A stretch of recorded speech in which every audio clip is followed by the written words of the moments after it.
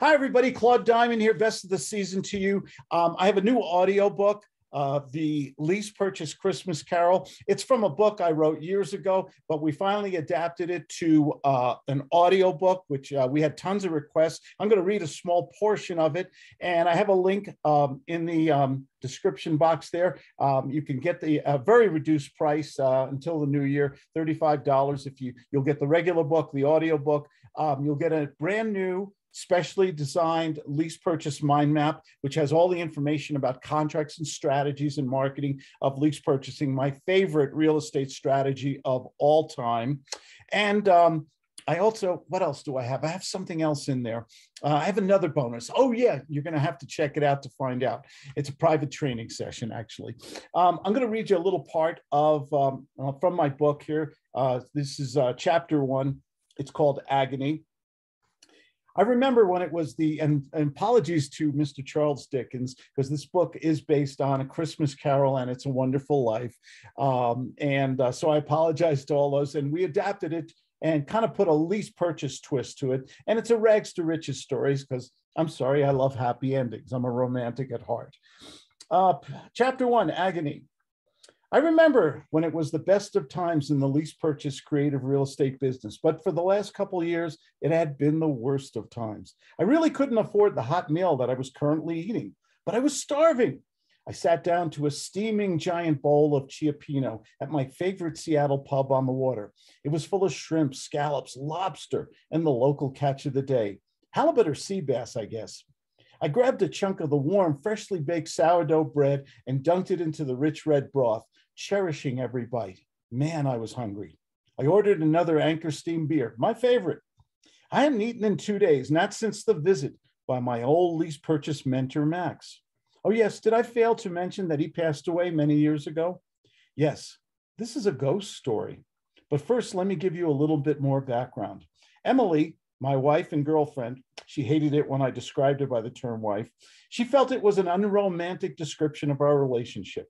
We had a great life together. We had known each other since high school, went on to college, graduate school, and had a fun $35 Las Vegas wedding, which she paid for, by the way. Uh, we had two kids, a boy and a girl, and I went on to corporate America and she became a stay at home homeschooling mom. The Lexus and the Caddy were always new and shiny. All was going according to plan. We were part of the great American dream. Money was good and got even better when I began my own real estate investment company.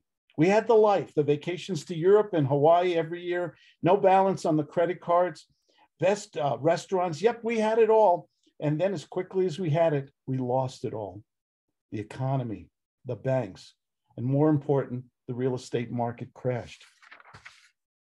I should have seen it coming. All the signs were there when it hit us. We lost our savings, and the new McMansion lost all its equity with crazy high payments, which we couldn't afford. I figured that I was always a good provider and I'd be able to turn things around. It was only a month ago that I was trying to get up the courage to tell Emily that there would be no Christmas gifts this year. In fact, we were probably going to lose our home in the next 30 days if I couldn't pay the back payments on our home. We stopped using the heating system and resorted to me chopping wood for the Franklin stove. The electric company was threatening to shut off the electricity. I gave the Lexus back at the end of the 12 month lease and bought a used Volkswagen Bug with about 150,000 miles on it. All this was going on in my head as I pulled into the driveway. It was already dark at 5:30 in the evening. Damn, there was Nosy Lenny, my neighbor. You can imagine that this was very embarrassing situation. Even the neighbors got into the picture of our economic demise when I showed up in the uh, used car, the bug. Hey, Ralph, how come the house is always so dark? You starting a candle making business? His smirk could be seen between the yards of our homes. He had the manicured home while my domain needed a new coat of paint three years ago. Just trying to create a romantic atmosphere, Lenny, I replied nonchalantly. Is that car a classic? Looks like the one I drove in high school, he laughed. Why didn't this jerk just mind his own business? I waved goodbye as I went through the front door. The kids were busy doing homework in front of the TV, the small one with the rabbit ears antenna, as we lost cable service last month. Emily came to the door, she always did, smiling, gave me her perfunctory kiss. How did it go today, sweetie? You know, the same old stuff. Everyone says, call me after the new year, or I have to think about it. I was on my roll with my usual diatribe about the problems with the banks, lawyers, economy, and politicians. How an honest, creative real estate investor couldn't make a living these days. She had heard this quite often. Why don't you just relax? Dinner will be ready in a half hour. What are we having, Em? Leftover mac and cheese casserole, she replied. God, I was so sick of that stuff, but I kept my mouth shut. If it wasn't for her part time nursing job, we would have been living with the in laws. Need I go on about that with you? I retreated to my office and looked over the bills. I knew there wasn't anything I could do about them. Heck, I didn't even have enough money for gas. We had a quiet dinner. All I wanted to do was shower, crawl into bed, and pull the cover over my head. I hate mac and cheese.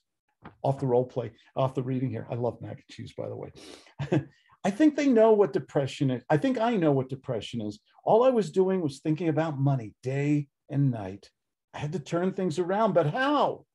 I had to stop this crash, not so much for me, but for Emily and the kids. I needed a Christmas miracle like in the old movies, and I needed one fast. Um, that is chapter one of my book, The Lease Purchase Christmas Carol, which is now in an audio form, and the link's in there. And it's a story about a man who's visited by um, uh, basically several de- his old mentor and several dead real estate agents, past, present, and future, and they show him his life and what he needs to do to change things around. And then I guess you'll just have to buy the book to find out the ending. Okay. And seriously, wish you all good health, a wonderful this time of the year, uh, and a prosperous, happy, and very healthy 2022. Thank you for all you've done for me and my family, and I wish all of you the best. And as I always say, no one deserves success more than you good people. Take care. Thank you.